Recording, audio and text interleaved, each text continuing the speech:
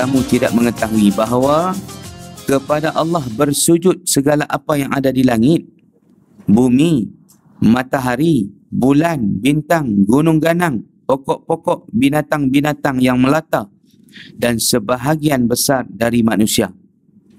Dan banyak di antara manusia yang telah ditetapkan azab atasnya. Dan barang siapa yang dihinakan Allah, maka tidak ada seorang pun yang memuliakannya sesungguhnya Allah berbuat apa yang dia kehendak. Bismillahirrahmanirrahim. Assalamualaikum warahmatullahi wabarakatuh. Alhamdulillah wassalatu wassalam ala rasulillah wa ala alihi wa sahbihi wa man wala. Rabbi syrah li sadri wa yassir li amri wa ahlul uqdatan min lisani yafqahu qawli amma ba' فيا أيها المسلمون ويا أيتها المسلمات اتقوا الله فقد فاز المتقون كمسلمين dan muslimat mukminin mukminat para jamaah penuntut ilmu di Masjid Al-Falah yang dikasihi lagi disayangi kerana Allah Subhanahu taala. Terima kasih atas uh, penerangan daripada Kak Salwa tadi berkaitan dengan kesihatan kita yang dikongsikan daripada Dr. Asyad. Lepas ni Ustaz insya-Allah nak pergi cari Dr. Asyad di dekat dengan Ustaz saya Ustaz di Kampung Amai di Jalan Tanah Merah ke Sipam 4 Tangkung dia di Kubuk Panjang jadi tak jauh lah tu Kampung Ga apa semua tu Ustaz tahu belakang tu dalam daerah Penang juga duduk di kawasan uh, Kubur Panjang kawasan-kawasan kawasan mereka tu kadang cakap pelet siam sikit ha, mereka cakap ha, mereka cakap siam ha, mereka boleh cakap siam jadi mereka speaking ha, mereka speaking siam jadi belah ustaz ni ada yang boleh ada yang tak boleh Ha, jadi di kawasan depan tu boleh cakap kin kau min rau apa pula tau. nah. Ha, jadi insya-Allah kena pergi cari pasal ibu ustaz mak tiri ustaz ni dia just uh, breast cancer stage 4 dan uh, kata semalam ni dibawa ke ward paliatif tu lah. Bila ustaz search paliatif ward ni dia untuk uh, perjalanan akhir bagi pesakit-pesakit yang tiada harapan untuk sembuh. Ha, jadi dia masuk ward tu lah. Dia bagi kaunseling dia bagi tenang dia bagi tak rasa sakit dengan apa morfin ke apa tak tahulah macam tu lah. Nah, jadi bolehlah nanti nak bagi tahu kat depan suruh depa pergi tengok uh, Dr. Asyad punya rawatan. Try tengok mana tahu Allah Taala suruh kita ikhtiar. Ikhtiar ni makna kita kena ikhtiar dia pilihan. Tak boleh A kita kena B. Kalau tak boleh B C. Tu makna ikhtiar. Ha ikhtiar tawakal. Usaha lain. Ikhtiar lain. Sebab tu dia kata dalam kita nak berjaya ni dia kena ada duit kan? D U I T. D doa U usaha I ikhtiar dan K T tawakal. Jadi bermakna usaha dan ikhtiar tu apa beza beza. Sebab usaha ni dia satu saja. Ikhtiar ni pilihan. Kita berusaha dengan plan yang kedua kan tiga yang keempat. Kita try cara hemopati kita try cara helopati halopati kita uh, try cara orang panggil apa? Uh, rawatan Islam. Dah buat macam-macam bahkan ada hari tu ni ustaz kata dia buat mai dulu di ayurveda cara ayur pula. India punya style. Dan tak tak berjaya juga. Jadi nak try pula insya-Allah minta sempatlah untuk dibawa ke Dr. Arsyad ni. Mudah-mudahan dia boleh. Sebab dia pun tak jauh dengan tempat Dr. Arsyad tu. Mak tiari ustaz ni rumah dia dekat Titi Haji Derih. Titi Haji Derih ni jalan nak pergi ke Kuruk Panjang juga lah sebelum Tobiar kawasan Tobiak. Dia panggil kami panggil Tobiak ha, Tobiak kadang benda di Kedah ni heja lain sebut lain ha, heja Tobiar ha, kami punya Tobiak Ko Diang. Ko Diang ni nama macam mana? Ha. Uh, ada lagi apa? Alok merah selalu orang suka sebut. Bukan alok merah, alok merah. Jadi alok merah. Kalau pemberita dia tak tahu, bukan orang Kedah dia baca. Kejadian berlaku di alok merah. Ha, sudah alok merah. Bukan dia tu, alok merah. Ha? Ha, dia bahasa Kedah ni dia suruh jalan sebut lain. Tambah kok diang lagi. Kok bah. Kok bah dia je kok bah ya. Sebenarnya kita kami bagi khutbah. no? ha, baik. Ha, jadi itu insya-Allah mudah-mudahan doa bagi Allah Taala izinkan mana nak tahu dengan ikhtiar usaha kita, ikhtiar kita ni Allah Taala beri kejayaan, beri kesembuhan kepada dia ada dan dia sampai sakit yang teruk lah ni sakit dia selalu mengadu sakit tu yang buat pika buat ni jadi dengar kat selalu kata tadi tu Ustaz Syed memang nak rawat orang yang sakit tengah sakit hmm. jadi insya-Allah uh, nanti habis kuliah ni Ustaz terus kontak ayah Ustaz untuk dia bagi tahu kat dia tentang perkara ni insya-Allah. Baik, kita mulakan dengan Al-Fatihah. أعوذ بالله من الشيطان الرجيم بسم الله الرحمن الرحيم الحمد لله رب العالمين الرحمن الرحيم مالك يوم الدين إياك نعبد وإياك نستعين اهدنا الصراط المستقيم صراط الذين أنعمت عليهم غير المغضوب عليهم ولا الضالين Amin. Amin. Baik. Tuan-tuan dan puan-puan muslimin dan muslimat rahimakumullah kita pada pagi ini insya-Allah kita ambil satu ayat daripada surah Al-Hajj. Surah Al-Hajj, surah Haji lah. Ayat yang ke-18 iaitu cerita tentang satu prinsip, satu kaedah asas yang pokok yang mesti kita semua tanamkan dalam diri kita yang mesti kita beringat dan sentiasa kita waspada berhati-hati agar kita jangan sampai jadi orang yang dihina oleh Allah Subhanahu Wa Taala. Firman Allah Subhanahu Wa Taala ayat yang panjang tetapi kita nak ambil ujung tu sikit di penghujungnya tapi kita baca je daripada awal ayat 18 boleh buka gadget yang ada Quran kita pekat-pekat tengok sama-sama kita baca. أعوذ بالله من الشيطان الرجيم Okey, ikut, ikut. Ha. Okey. Satu, dua, tiga, kita mula lagi. A'udzu billahi minasyaitonir rajim. Ikut. ألم تر أن الله يسجد له من في السماوات ومن في الأرض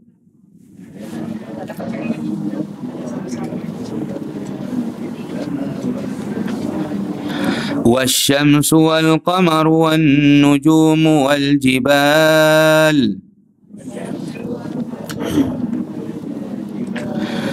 والشجر والدواب وكثير من الناس.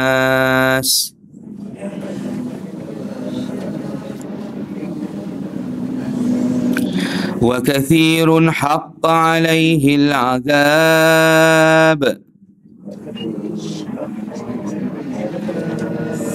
ومن يهن الله فما له من مكرم.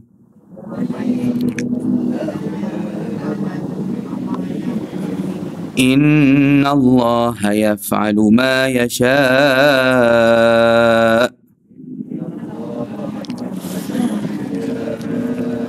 Sadaqallahul Azim. Satu ayat daripada surah Al-Hajj. Yang menarik untuk kita tadaburkan pada pagi ini. Iaitu maksudnya apakah kamu tidak mengetahui bahawa kepada Allah bersujud segala apa yang ada di langit, bumi, matahari, bulan, bintang, gunung ganang, pokok-pokok, binatang-binatang yang melata, dan sebahagian besar dari manusia dan banyak di antara manusia yang telah ditetapkan azab atasnya. Dan barang siapa yang dihinakan Allah maka tidak ada seorang pun yang memuliakannya. Sesungguhnya Allah berbuat apa yang dia kehendaki. Jadi yang kita nak berikan perhatian nak highlightkan ialah wa man yuhinillahu fama lahu min mukrim. Tidak siapa yang dihinakan oleh Allah tidak ada siapa yang dapat memuliakannya. Jadi bila Allah Taala hinakan seseorang tidak ada siapa yang dapat boleh memuliakan lagi. Contohnya bila Allah SWT menghinakan seorang itu dia bagi seorang itu dia buat benda-benda maksiat benda jahat last sekali dilemparkan ke dalam api neraka. Dilempar dan diletakkan di satu tempat yang hina namanya neraka siapa yang boleh keluar daripada neraka tu? Siapa yang boleh menyelamatkan dia tak ada siapa yang dapat boleh mengeluarkannya. Itu kemuncak kehinaan. Kita manusia hamba Allah ni kemuncak hina ialah dilempar masuk dalam neraka. Kalau di atas dunia ni masuk penjara. Bila masuk penjara ni hilanglah harga diri kita. Kita nanti jadi jadi rendah diri, down, rasa lemah. Nak masuk masyarakat pun kita jadi malu. Tu, tu, tu, tu, tu dunia. Allah Ta'ala hina. Dan Allah SWT boleh hina kita juga. Dengan cara dia buka aib kita. Dengan membuka aib-aib kita tu, orang jadi jadi pada kredit, puji, menjadi ke keji. Ha, tu cara dia. Kita hari ini, Allah Ta'ala bagi kita dihormati, disanjungi sebab Allah Ta'ala tutup aib kita. Sebab tu jangan kita rasa kita mulia kerana kita. Tetapi sebenarnya kita mulia adalah kerana Allah. Allah yang melindungi, menutupi aib kita. Seorang pendakwah yang terkenal, yang berhebat, dia sebelum orang tahu keaibannya, orang puji. Tapi setelah orang tahu keaiban dia, Allah buka aib dia yang dia tutup, yang dia sembunyi. Tak boleh nak sembunyi juga. Allah Ta'ala dedahkan. Maka bertukarlah pujian menjadi kejian. Yang tu yang kita tengok kadang-kadang Masya Allah di media sosial dan sebagainya. Ha? Kadang kita netizen ni pun dia laju sangat tak dan mahkamah nak jatuh hukum depa jatuh dah. Tak dan lagi apa nama bicara pun belum lagi. Depa dah jadi juru bicara dah. Dia scroll sana dia scroll sini dia cari sana cari sini. Ambon orang Malaysia kita ni tak ada kerja lain ke? Kau orang mereka pun sama juga? Ha? kita tak tahulah. Uh, dia cukup suka bab-bab yang gosip-gosip orang. Yang suka bagi orang kata buka aib-aib orang ni dia seronok sangat. Padahal kita bukan seronok. Kita masa sedih. Kita pun masih simpan lagi dalam hati kita. Dak kot dak kot bukan kot. Ah ni dak. Dia kau nak jatuh terus. Sebab kita tak dengar dari tuan tubuh sendiri dan sebagainya. Nah ha, jadi kita masih menyimpan dalam hati kita. Kita kata dak kot tu fitnah dah kot. Ha, tapi dak. Netizen ni kadang-kadang Allah siapa dia hakim mahkamah? Siapa dia tahu dengan bukti-bukti yang sahih? Cara dia tu Ha, jadi itu kita ingatkan mereka jangan suka sangat untuk berseronok dengan keaiban orang sebab kita takut nanti Allah pula boleh buka keaiban kita pula. Jadi sebab itu ayat ini kalau kita tengok di awalnya Allah kata semua makhluk sujud kepada Allah. So maksud dia apa dia? Maksud dia nak mulia kena sujud. Jadi kita cari kemuliaan dengan apa yang Allah muliakan kita. Apa dia yang Allah Ta'ala muliakan kita? Sebab punca kenapa kita nak jadi mulia di sisi Allah ialah kita kena merendah diri kepada Allah. Dan di antara kemuncak rendah diri kita pada Allah ialah sujud. Itu disebut alam tara anna Allah yasjudu lahu man fis samawati wal ardh sujud kepadanya segala apa yang ada di langit, segala apa yang ada di bumi, pokok-pokok, gunung, ganang, bulan, matahari. Semua sujud ke Allah. Sebab sujud itulah cara dan way, jalan untuk kita menjadi mulia. Kita meletakkan dahi di tempat lantai kita pijak tetapi bukan untuk orang sujud kepada manusia kepada hamba hina. Sujud kepada Allah mulia. Tetapi sujud kepada makhluk kalaulah Allah suruh macam iblis Allah suruh suruh sujud kat Adam. Itu mulia juga. Tapi iblis tak faham. Iblis kata dia nak sujud kat Allah saja kat Adam dia tak mau. Dia tak baca yang suruh tu siapa? Yang suruh tu Tuhan hang. Pencipta hang yang bagi ilmu kat hang. Iblis ni ilmu banyak dia menjadi profesor di kalangan malaikat. Di dalam syurga dia bukan malaikat dia jin. Tapi dia ilmu ada. Malaikat kurang ilmu Tuhan tak bagi ilmu sangat kat malaikat ni. Sebab malaikat dia makhluk pekerja buruh. Dia bekerja. Kalau dia suruh Allah Ta'ala suruh sujud dia sujud. Dia bukan gaduh makan minum kencing apa semua tak.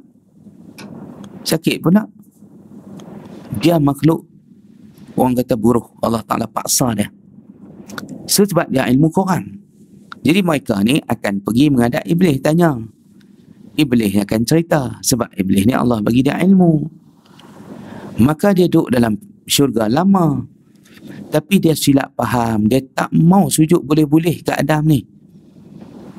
Sebab dia duk ingat sujud ke makhluk tak boleh tapi dia lupa kata yang suruh tu apa siapa Allah yang suruh? Sebab tu malaikat bila Allah suruh dia terus sujud. Iblis yang yang tak mau. Wa iz qala rabbuka lil malaikati isjudu li adama fasajadu illa iblis. Malaikat semua menyembamkan diri sujud kepada Adam. Sebab malaikat kata dia ni makhluk yang tak ada pikir-pikir dah. Allah suruh terus on the spot. Boom terus terjun tak ada cakap banyak dah. Tak ada oh, tak ada eh dah. Ha, itu malaikat makhluk yang patuh. Lepas tu Allah sebut malaikat ni la ya'sunallaha ma amarahum wa yaf'aluna ma yu'marun. Malaikat ni makhluk yang tidak maksiat kepada Allah dan dia buat apa Tuhan perintah. Dua sekali Allah sebut. Tidak maksiat, tidak engkar apa Tuhan suruh dan dia buat apa yang Tuhan suruh. Ha tu dia dua penegasan.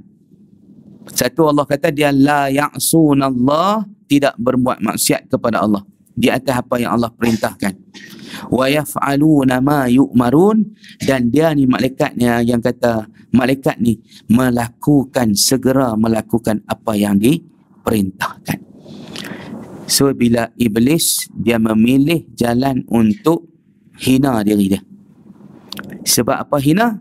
Dia tidak melaksanakan perintah Allah. Jadi bermakna kita ni nak jadi mulia, kita kena ikut perintah Allah. Kita kena sujud. Sebab tu sujud ni satu-satunya rukun dua kali kita buat dalam setiap rakaat.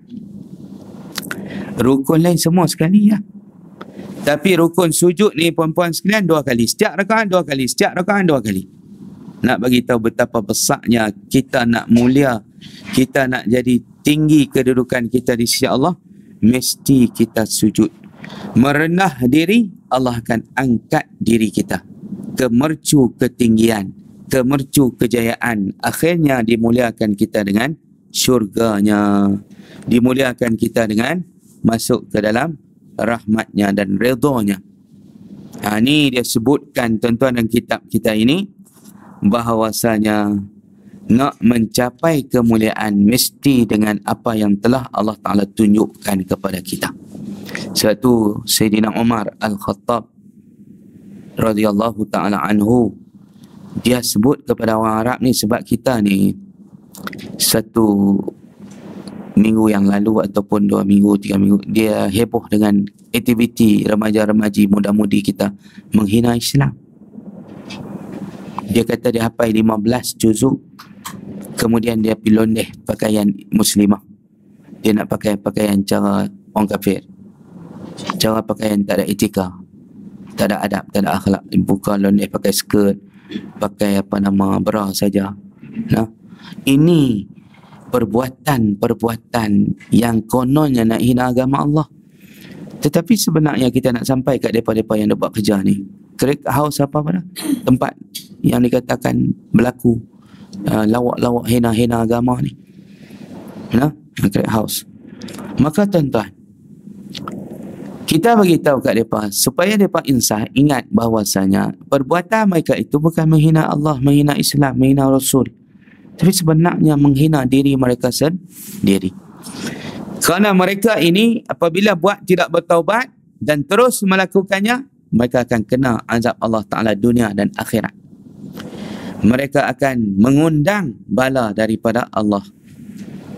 Allah Ta'ala boleh datangkan penghinaan kepada mereka di dunia dan di akhirat. Yang tu patutnya mereka takut dan mereka kena bimbang. Jangan duk buat kerja-kerja lagu tu. Ha, jadi sebab itulah Ustaz ambil ayat ni untuk kita sama-sama tadapur pada pagi ini. Maka dia kata, kita bila baca ayat ini, kita dapat satu kesimpulan iaitu nak mencapai karamah kemuliaan seorang insan kemuliaan seorang hamba ialah kita kena mentauhidkan Allah. Tauhid itulah yang akan menjadikan kita mulia. Sebab itulah bila insan mengucap asyhadu an la ilaha illallah wa asyhadu anna muhammadar rasulullah dia sudah menjadi mulia. Sebab apa dia sudah menjadi mulia sebab dia sudah ada sijil syahadah yang menjadikan dia tidak akan kekal di dalam neraka.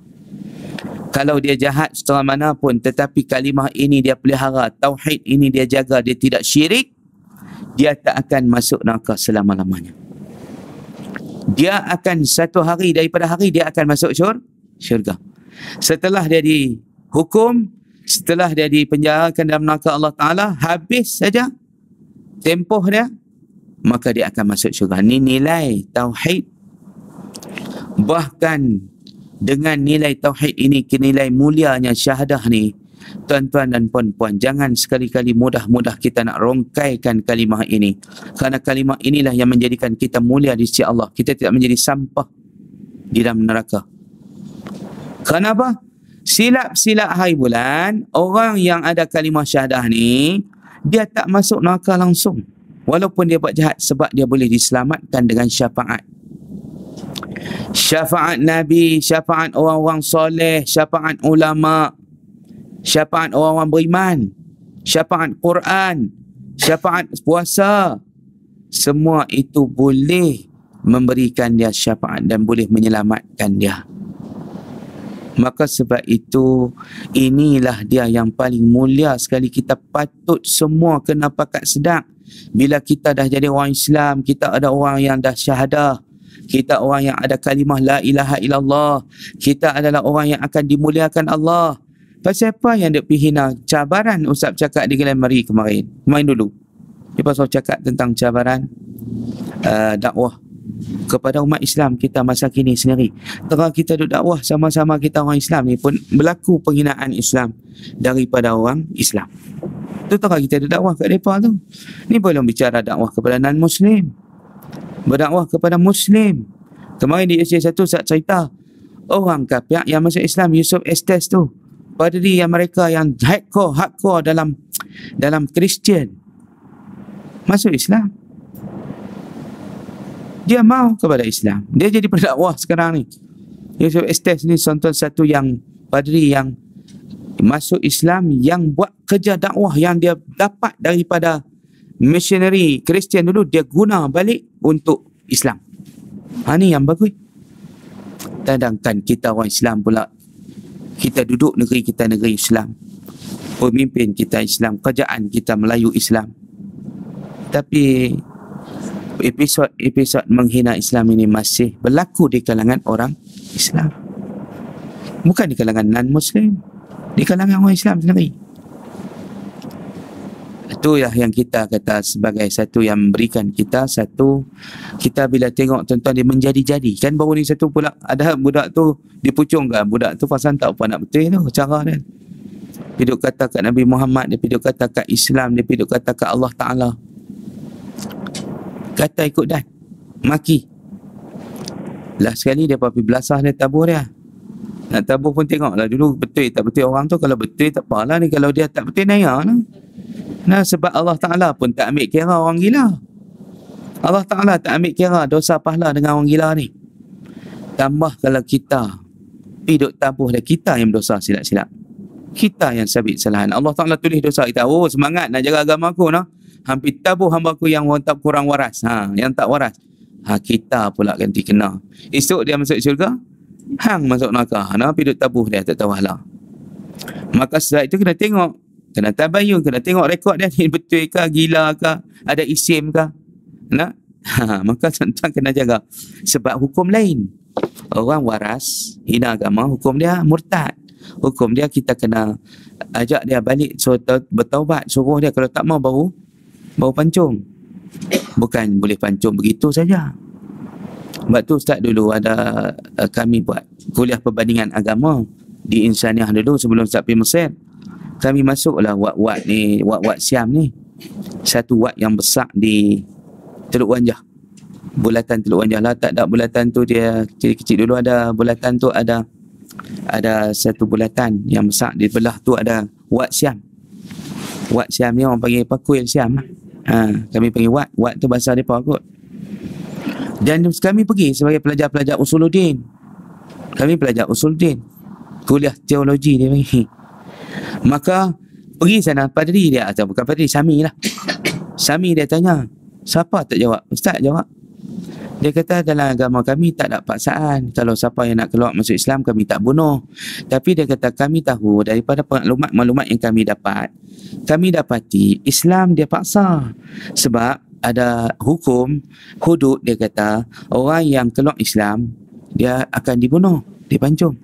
Ustaz jawab, Ustaz kata, itu last sekali pancung tu bukan pancung terus setelah dikonseling, setelah dipujuk, setelah dirayu, setelah diberikan hukuman dulu, penjara dulu. Dia duk tak mau juga setelah dia hujah dulu. Kena datangkan kenapa dan mengapa kau nak keluar dari Islam ni, apa salah Islam ni. Dia kena berhujah dulu. Oh, last sekali barulah dipancung tu. Bukan boleh bertindak sembrono. Islam bukan agama yang ganas. Yusuf Estes dulu dia tak mau ke Islam pasal dia tak tahu Islam yang sebenar. Tapi bila dia berkawan dengan Muhammad Abdul Rahman, nanti Ustaz ada video dah tuan-tuan yang dibuat oleh kita Arifin kita online majlis ilmu nanti tengok kisah Padri yang masuk Islam. Hari itu Ustaz kisahkan uh, seorang uh, anak ulama masuk Kristian, adik Hamka kan. Banyak ada orang view dalam dalam apa Facebook 41 ribu lebih lah sebab cerita tu mereka banyak yang tak tahu lagi. Cerita tentang adik Hamka yang murtad tu. Kita kisah di sini lah cerita di sini. Ha? baru uh, program tahun lepas bulan lepas yang kita cerita tu. Ha, ni, bulan ni cerita pula tentang hidayah orang bagi kepada hardcore Kristian yang mengasas yang buat uh, just pertama di kawasan perumahan dia tu. Yusuf Estes dan keluarga ni. Tapi Allah pilih dia masuk Islam dan dia jadi pendakwah Islam yang mempunyai influencer orang panggil apa influence ni yang boleh menarik ramai orang follower. Baik. Ha jadi itu cerita dia tentang hina ni nak buat. Kalau hampa cari hina nak hina Allah tak salah Allah tak akan terhina. Agama dia tak akan terhina. Yang kamu buat itu semualah yang akan menghina diri kamu sen sendiri. Hidup londeh Islam punya pakaian tak mau tak seronok duduk di bawah sistem Islam. Dia berasa nak duduk sistem lain yang lain daripada Islam. Allah Ta'ala sebut dah aku tak heran. Sebab yang aku reda hanya cara hidup Islam. Inna dina indallah hil Islam. Maksudnya cara hidup yang Allah reda hanya sanya Islam So dia tak puas hati, dia tak berasa redha, dia tak berasa senang dengan cara hidup Islam. Dia nak pergi cara, cari cara hidup yang lain, cara pakaian yang lain. Silakan Allah tak halang, Allah tak heran sebab makhluk-makhluk yang dia ada lain boleh patuh. Makhluk-makhluk dia yang lain yang lebih besar, yang lebih power, matahari, bulan, bintang. Boleh sujud kat dia.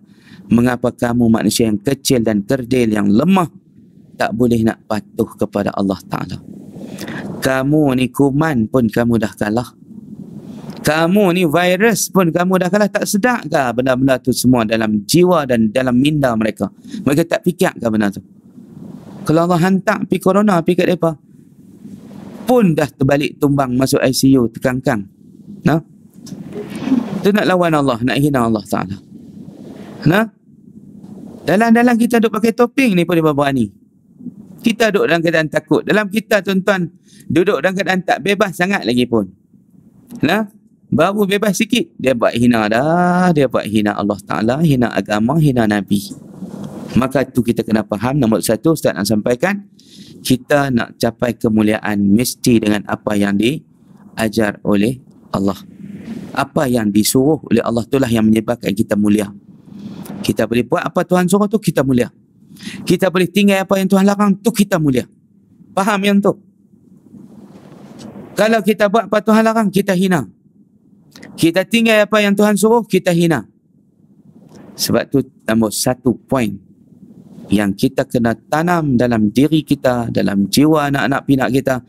Bagi tahu kat depan anak-anakku sekalian, kita nak jadi mulia, kita kena buat apa Tuhan suruh, kita kena tinggal apa Tuhan larang, maka kita akan jadi mulia dunia dan akhirat. Tapi sebaliknya kalau kamu memilih untuk ningkar apa yang Tuhan suruh, kamu tidak mau buat apa yang Tuhan suruh, tak mau tinggal apa Tuhan larang, bagi tahu kat mereka kita semua sedang menempa kehinaan di dunia dan di akhirat. Itu nombor satu. Ha? Dan apakah kerendahan, kehinaan yang paling rendah dan parah dalam hidup kita ialah bila kita menolak sujud menolak untuk patuh dan taat kepada Allah. Itu poin nombor dua. Poin nombor dua kehinaan kerendahan yang paling parah yang paling dahsyat ialah kerendahan kehinaan apabila kita meninggalkan kepatuhan dan ketaatan kita kepada Allah. Atau disebutkan meninggalkan sujud kepada Allah. Kerana sujud itu adalah lambang manifestasi ketaatan kita. Lambang manifestasi kepada ke, kepatuhan kita kepada Allah. Itu dilambangkan dengan su, sujud bila sujud kepala kita lebih rendah pada punggung kita. Ha, itu sujud. Sebab itulah nikmat sujud ni. Nikmat sujud. Sebab tu Yusuf Estes yang masuk Islam tu dia kata dia merasa begitu nikmat sekali bila dia dapat solat berjamaah first time. First time dia solat berjamaah di masjid di Amerika tu dia pas solat berjamaah dia mai solat berjamaah sekali dengan kawan dia ni Muhammad ni dan dia tulis dia rasa itulah satu nikmat yang dia tidak pernah rasa sewaktu dia duduk dalam Kristian dia pun 54 tahun tuan-tuan duduk dalam Kristian. Hak dulu ni Abdul Wadud tu duduk 54 tahun duduk dalam Islam. Convert di uh, 54 jadi Kristian. Yang dia ni Yusuf Estes ni masuk Islam 54 tahun dia convert masuk Islam sekitar tahun 90-an. Syam satu macam tu lah. Ha? Baik tuan-tuan yang dirahmati Allah Ta'ala sekalian Tuhan buat tu macam apa? Nak suruh kita ambil antibah Tengok ha, anak ulama tak mau Islam Allah tarik. Padri hardcore padri Kristian hardcore punya. Allah pilih untuk bagi Islam. Maknanya dia nak bagi tahu kat kita nikmat besar tu di tangan dia. Nikmat hidayah itu tiada siapa boleh campur dia milik mutlak Allah yahdi man yasha wa yudhillu man yasha dia boleh bagi hidayah pada siapa yang dia suka dan dia boleh bagi sesat kepada siapa yang dia suka. Hak mutlak dia. Anak Nabi pun ada yang kafir, anak Nabi Nuh. Dia bukan ada ramai anak, empat orang anak dia laki semua. Seorang kafir, Kanaan. Milik dia. Bapa Nabi, Nabi Ibrahim, bapa dia. Mati kafir. Azar walau dia seorang nabi tapi dia tak boleh masuk hidayah dalam bapa dia. Dia tak boleh nak pegang kepala pak dia supaya terima. Tak boleh paksa. Tak boleh pegang kepala. Ha masuk Islam pak. Tak boleh. Tak boleh luku kepala pak dia masuk Islam tak boleh. Dia hanya boleh terang. Hati Tuhan yang buka. Dia kata kat pak pak pak tak sembah pahala buat apa pak oi pahala tu kali bagi manfaat apa kat kita. Tak boleh memiliki apa pun kita yang kena basuh dia mandi dia. Kalau kita tampak dia tengok cek cek pecahkan berhala. Dia cakap cek ikut dia sarapan santun. Bahasa kedah bahasa Melayu paling lembut kedah. Sampai kasar pun kedah juga. Dan bila dia lembut tu ha, pergi sampai cek tau. Cakap saya ada cek terus. Ha? cek ni cek pecah tengok berhala besar sekali tu. Saya tinggal dia besar tapi dia tak boleh cover tak boleh uh, protect No, hak kecil-kecil tu. Dia biar tengok. Cek pecah semua hak kecil-kecil tu. Dia tak boleh buat apa pun. Ha, berdakwah kat yang dia sampai teratur. Cakap elok, lemah lembut. Bukan bertengkar. Bukan dia tinggi seorang. Cakap elok macam Ustaz sebut tadi. Cek, cek, cek. Tapi ayah dia haram tak terbuka hati. Tu kata hidayah milik Allah. Sebenarnya dia buat cerita ni kat kita. Satu anak adik Hamka, anak ulama, Allah boleh tarik hidayah. Dalam hidayah, dalam nikmat, ditarik nikmat itu. Yusuf Estes ni, dalam sesat, dalam gelap, dalam syirik, Allah tarik dia dengan hidayah masuk. Tu Allah nak memuliakan seseorang, Allah nak hinakan seseorang. Ha? Buka mata kita, buka minda kita, eh kita yang duduk dalam Islam elok-elok ni pasal apa duduk kelupok nak keluar nak hina Heran sungguh. Patutnya kita bersyukur. Kita sujud syukur. Kita sujud dan patuh kepada Allah SWT. Ha pelik-pelik hafal 15 Quran dia kata. Tu mufti-mufti panggil nak test tengok betul tak hafal ni. Kau hendak bohong gebang-gebang saja. Duk gebang gelembong orang kata. Orang kata kata duk bom saja, duk bohong saja. Ha? Tu ke hafal. Mai kita nak test tengok, suruh dia baca. Saya takut bukan apa, dia nak menghina tujuan dia. Tujuan hina memang dia akan dapat hina. Ha? Baik. Yang kedua, faham molek-molek bagi tahu kat depa puncak kerendahan puncak ke, ke apa nama kehinaan ialah apabila kita gagal untuk mentaati Allah SWT. Itu nombor dua. Nombor tiga kita ambil lagi. Poin-poin seterusnya ialah dalam konteks ini dia kata penjelasan yang kita dapat siapa yang berhak mendapat azab. Ha, tetapi kepada azab pula iaitu ialah akibat daripada kita memilih untuk buat kerja yang hina, benda yang hina iaitu tidak taat kepada Allah. Akibatnya ialah azab. Yang tu kita kena faham. Yang tu kita kena masuk dan senubari hati kita supaya kita beriman.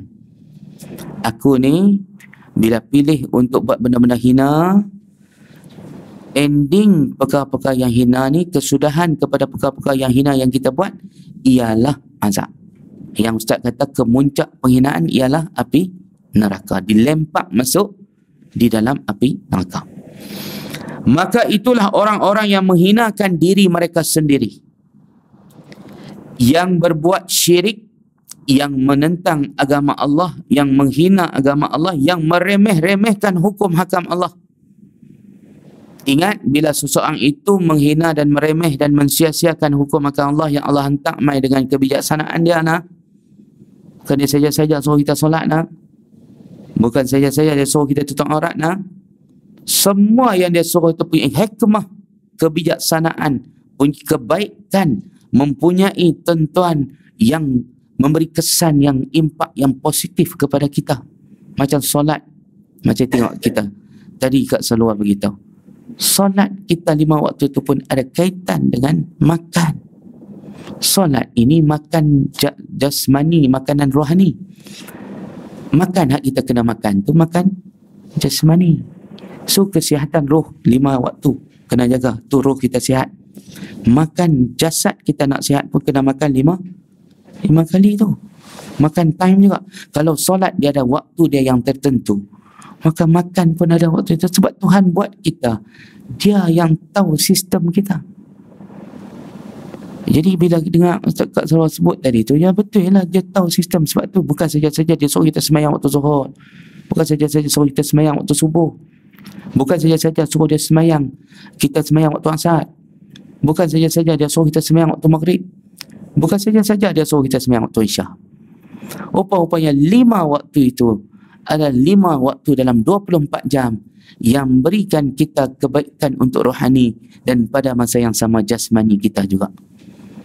So makan waktu subuh, waktu sepuluh tu tak ada lah duha. Tak ada apa apa nama makan kita tak ada uh, waktu semayang waktu tu tapi sunat ada semayang duha. Yang wajib tak ada. Jadi kali waktu ke sepuluh tu pun dia sunat juga kot makan tu. Tu kita tak makan pun ke sepuluh. Nah. Ha, maka tentu yang dirahmati Allah. Nah. Ha, jadi lima. Bukan saja-saja. Sebab tu kita kena boh dalam minda kita. Bila kita buat benda-benda yang menghina ni. Benda-benda yang menghina diri kita ni. Kita kena fikir. Kesudahan kita ialah azab. Wa kasirun haqqa alaihi azab. Tengok ayat 18 tadi tu. Allah kata dan banyak juga di kalangan hamba-hambaku yang aku telah tetapkan azab untuk mereka. Ha, jadi sebab apa? sebab diri mereka sendiri hidup cari pasal dengan Allah Subhanahu Wa Taala hidup cari pasal dengan agama Allah hidup cari pasal dengan Rasulullah sallallahu alaihi wasallam hidup hina nabi hidup kata ke Islam hidup kata ke Allah Taala mereka sedang mencari pasal untuk diri mereka sendiri kena sakit kena azab oleh Allah Subhanahu wa ta'ala. Renungkanlah dia kata bagaimana ungkapan tentang azab ini diungkap dengan firmannya wa man yuhinillah. Allah tak sebut wa man yu'azzibillah. Dan siapa yang diazab oleh Allah tak. Tapi Allah Taala sebut hina tu. Siapa yang dihina oleh Allah. Maknanya Allah Taala kata sakit tu ada kadang-kadang bukan hina.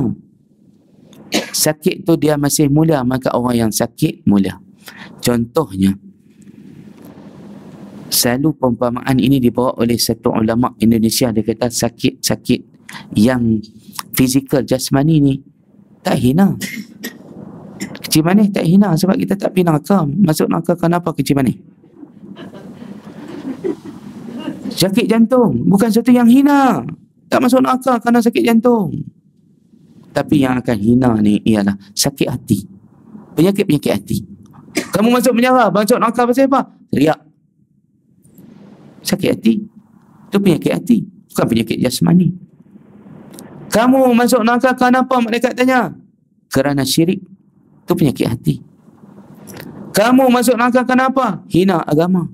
Aku hina Tuhan, hina Allah, hina hina Rasul. Itu penyakit hati. Bukan penyakit sebab penyakit fizikal Tuhan bagi. Penyakit hati itu kita buat sendiri. Kita cari pasal. Sebab itu penyakit-penyakit fizikal kita itu bukan hina, itu sakit saja. Tetapi bukan hina. Sebab itu Allah tak guna perkataan wa man yu'azzibillah. Tapi Allah guna wa man yuhinillah. Ada maksudnya ada orang yang diazab oleh Allah tetapi Allah tak hina dia. Macam orang kena kanser, orang kena sakit tu, sakit ni, penyakit jantung ni, kita Profesor Dr. Kamil Abdul Majid. Dia mengajar orang Ustaz di Universiti Melaya meninggal tadi adik Dr. Mahmud Zuhdi dia pada balik profesor ikut abang abang profesor Dr. Mahmud Zuhdi bidang agama syariah dia bidang usuluddin meninggal kalau umur 70 sakit kerak kaki. Apa nama kecil mana? Tapi dia tak hina. Dia ulama.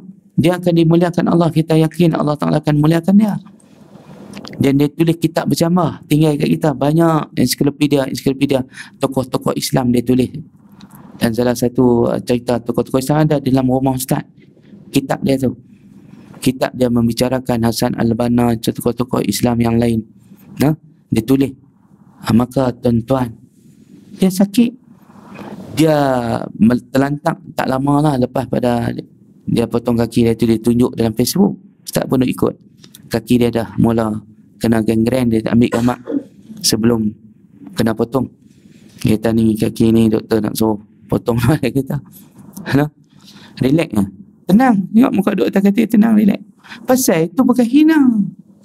Itu bukan hina. Azab Allah Ta'ala bagi sakit di dunia ni, sakit fizikal ni, bukan hina. Yang Allah sebut, Allah tak sebut azab. Sebab ada yang dia bagi azab tetapi mulia. Nabi Ayub.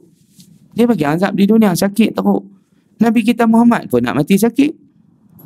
Tapi tidak hina.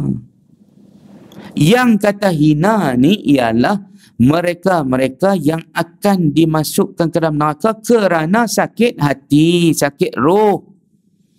Sebab tu tak ada malaikat tanya orang-orang masuk neraka ni tak ada siapa pun yang masuk neraka kerana cima ni. Kencing orang betul. Ha masuk neraka betul apa? Kencing orang. Ha tu betul boleh masuk neraka semua. Memang layak dia masuk neraka. Pasal dia kencing orang, kencing orang ni tipu orang, bohong. So dia jaga negara dia pergi rasuah. Ha? Ha, tu memang layak masuk neraka. Ha? Pasal kencing orang. Kianat. Kianat ni kencing orang. Arti dia kencing mana? No problem. Allah kata boleh masuk syurga. Tapi kencing orang tunggu sat. Tanya orang tu. Hang kencing dia apa ibu? Hang kencing dia apa juta? Bagi pahala hang. Pahala habis, ambil dosa dia. Allah. Tu kalau seorang. Kalau semua ayat Malaysia 32 juta, hang jenuh nak cari mana nak bagi kat kita pahala dia nak ambil tamanah pahala tak pada dia ambil dosa kita. Nak ambil hang dosa kami. Nak ambil hang dosa kami. Nak ambil hang dosa kami. Ha tu dia. Jangan dok sonok ni. Kena baca ni bila Allah hina seseorang itu. Bukan dia hina dengan sakit fizikal. Tetapi dia hina dengan apabila kita tak rawat sakit hati. Orang duk tazkirah tak mau dengar. Orang duk bagi nasihat tak mau dengar. Duk buat de buat pekak Orang baca Quran, baca hadis, dia buat de, buat pekak juga. Ha, siap. Hang pilih untuk menghina diri hang. Jadi Allah tak azab seseorang itu bukan kerana daripada Allah tetapi daripada diri dia sendiri. Dia menempa satu kehinaan, satu penyakit yang akan dia kena dia azab di akhirat nanti. Apabila dia tak mau merawat sakit-sakit hati dia tu. Macam mereka yang buat kerja-kerja hina ni. Kita sampaikan melalui media sosial, melalui media elektronik, media cetak, pendakwah-pendakwah ingatkan mereka. Jangan cik oi buat benda-benda lagu ni cik oi takut. Allah Ta'ala tu maha power maha kuasa. Dia boleh buat kita anytime. Dia boleh azab kita anytime. Jangan. Ha, tu nasihat. Dia buat dia juga. Berani juga. Hmm, tunggu. Tak boleh buat apa kita. Kita hanya boleh bagi peringatan. Sedangkan diri dia itulah yang nak dengar ataupun nak eng engkar. Baik. Kemudian renungkan pula poin nombor empat kita. Fama lahu min mukrim. Tu ayat ujung. Tiada siapa yang dapat memuliakan dia lagi. Tiada seorang pun yang dapat memuliakannya. Ingat ayat tu cukup takut tu. Bila Allah kata, bila dia hina seseorang, tiada siapa pun yang dapat memuliakan orang itu lagi. Sebab itulah syafaat-syafaat Nabi-Nabi pun tak boleh masuk kepada orang yang Allah hina. Allah halang. Sebab itu dia kata dalam ayat surah Baqarah, ayat kursi, illa biizni. Man zallazi yashfa'u, yashfa'u illa biizni. Siapa yang boleh beri syafaat melainkan dengan izin Allah.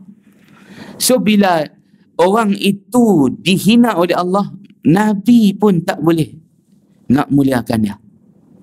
Nabi pun tak boleh. Nabi yang dekat dengan Allah, kekasih Allah. Dia nak guna kedudukan dia tu untuk nak selamatkan dia. Tak boleh sebab dia kafir. Sebab dia syirik. Macam Nabi Ibrahim pernah nak guna kedudukan dia sebagai Khalilullah. Nak selamatkan ayah dia. Ini cerita Nabi Muhammad cerita kat kita. Yang akan berlaku di padang masyarakat. Bagaimana Ibrahim minta ke Allah ya Allah dulu di dunia aku doa kepadamu jangan hina aku di akhirat. Jangan hina jangan duka citakan aku di akhirat. Wala tukhzini yaumal qiyamah. Wala tukhzina yaumal qiyamah. Tu kalau kita baca ramai kan. Jangan hina kami jangan rendahkan kami jangan duka citakan kami di hari akhirat di hari kiamat.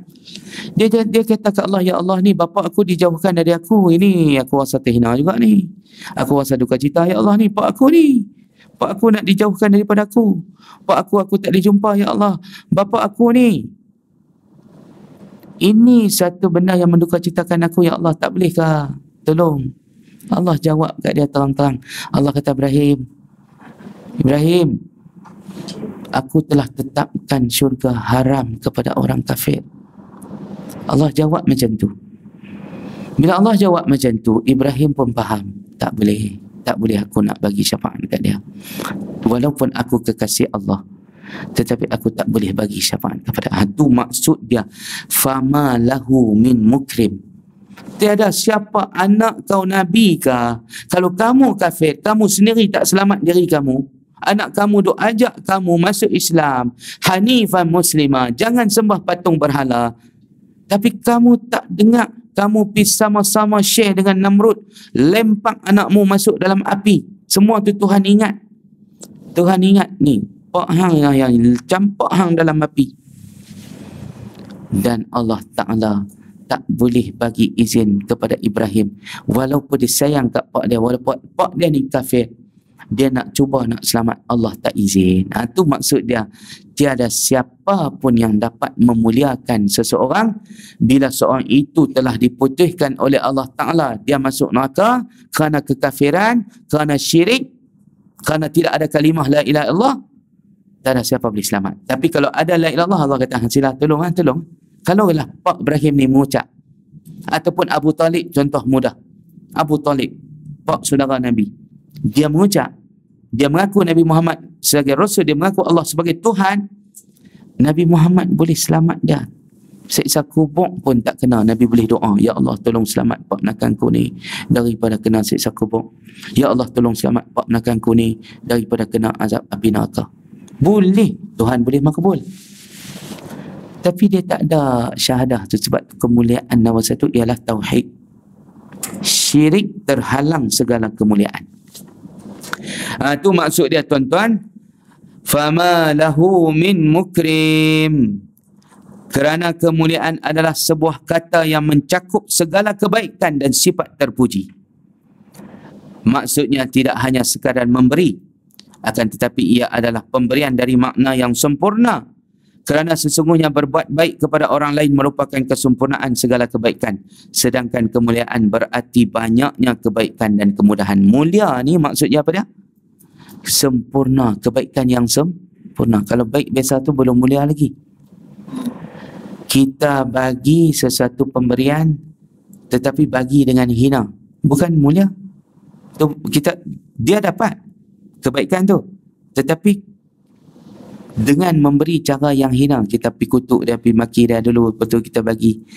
Itu belum. Tetapi kalau kita kata mulia itu sempurna tau. Kebaikan yang kita buat dengan sempurna. Makna tak ada cacat celah lah. Lepas tu bila kita kata uh, kita memberikan sesuatu dengan penuh hormat dengan penuh rasa apa tinggi rasa penghormatan kita. Ha, itu dipanggil pemberian yang mulia sebab pemberian ni ada dua. Satu beri dengan hina satu beri dengan mulia. So kebaikan yang sempurna ialah mulia perkataannya. Allah guna mulia. Allah tak guna baik. Sebab ada baik tetapi belum mulia. Tetapi mulia ni mesti baik lah. Ha, mesti baik. Tidak semua mulia adalah baik tetapi semua baik adalah mu mulia. Itu mantik ilmu logik. Ilmu logik akan kami mengaji dulu macam tu lah. Kita nak bagi faham sesuatu tu dia akan buat takrif macam tu nak tahu mana lebih besar? Mulia dengan baik mana lebih besar? Mulia lebih besar. Pasal apa? Semua baik adalah mulia. Tidak semua mulia adalah ba baik. Ha, jadi begitu contoh mana tahu Ustaz pun dah pening ni. Logik rasional. Ha. Dia ilmu mantik ni dia macam tu. dia logik. Ha, dia sebab tu ilmu mantik ni dia boleh dia, dia boleh reverse otak kita ni. Dia boleh dia boleh benda yang tak baik tu dia boleh bagi jadi baik. Boleh jadi nampak baik ah. Cara dia hujah. Nah cara berhujah orang loya-loya ni ni pemantik ya. Ha? Baik.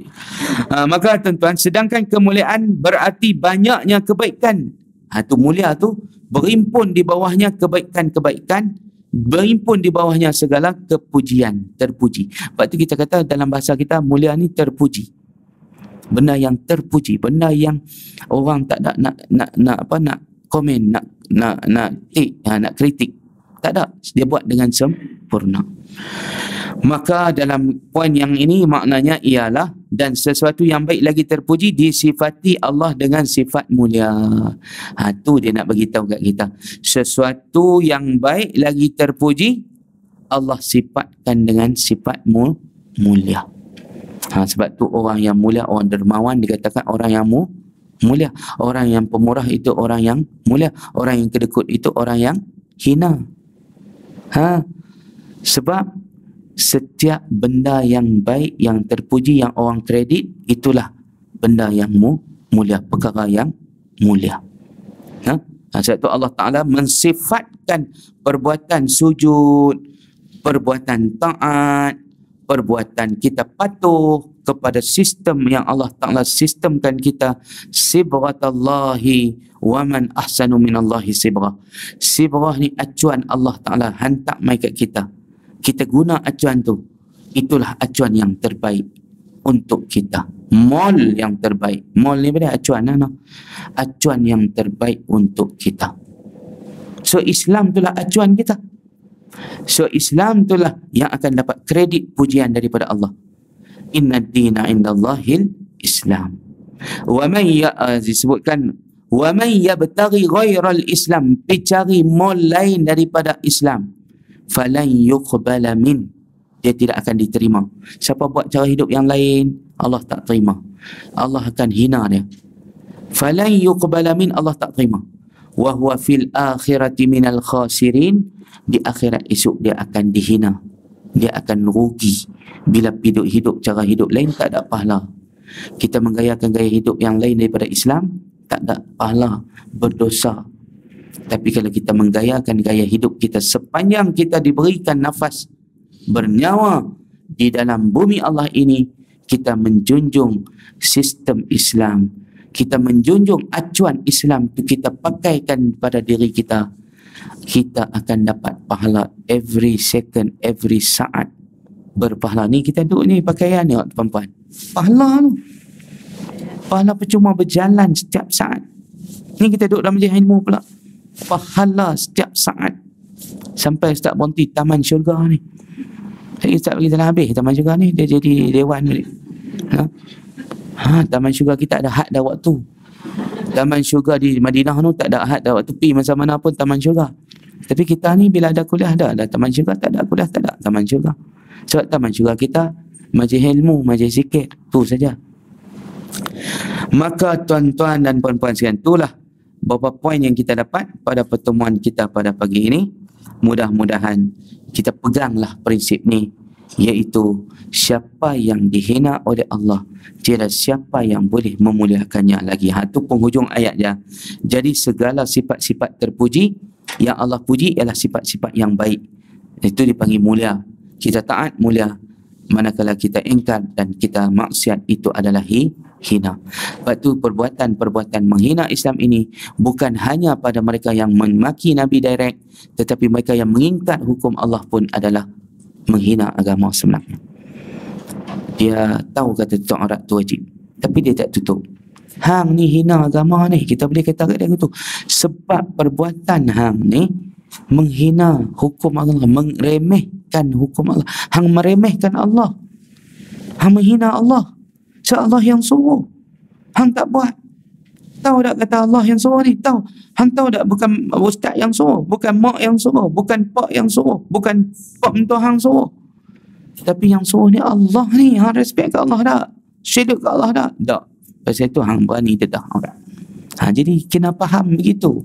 Baru dia ada touching dalam hati. Kalau Dr. Asyad dia touching point-point. Ni Ustaz nak touching hati-hati kita semua. Ha, no? Ni Dr. Hadi dia nak touching tuan-tuan. No? nak touching hati kita. Bagi rasa eh aku ni hina Allah ni. Aku meremehkan suruhan Allah. Hai nak hina Allah aku yang akan terhina. Itulah yang kita nak bagi tahu. Nah, kerana Allah tak akan terhina selama-lamanya. Dia mulia selama-lamanya. Hang beredak kat dia ke, hang engkar kat dia ke, dia tetap mulia. Kita yang jadi masalah. Nah, dengan kata-kata itu, kita berhenti dekat tu dulu. Kuliah kita pada pagi ini insyaAllah. Mudah-mudahan beri manfaat kepada kita di atas tadabur ayat kita yang tak banyak satu ayat saja. Itu pun di penghujung ayat iaitu wa man yuhinillahu fama lahu mim mukrim. Mudah-mudahan beri manfaat kepada kita, menambah nilai iman kita dan amal soleh kita insya-Allah. Menjadi pemangkin dan motivasi untuk kita terus menjadi hamba Allah yang taat dan patuh kepadanya dan mendambakan rahmat dan redanya insya-Allah. Aku qouli hadza wa astaghfirullah alazim li wa lakum wassalamu alaikum warahmatullahi wabarakatuh. Subhanakallahumma bihamdika asyhadu an ilaha illa anta astaghfiruka wa atubu ilaih. Bismillahirrahmanirrahim. Wal 'asr innal insana lafi khusr illa alladziina aamanu wa 'amilus shalihaat tawaasaw bil haqq wa tawaasaw bis sabr.